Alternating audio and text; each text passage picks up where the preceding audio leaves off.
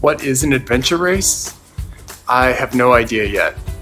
I know there's running, there's biking, and I guess adventure?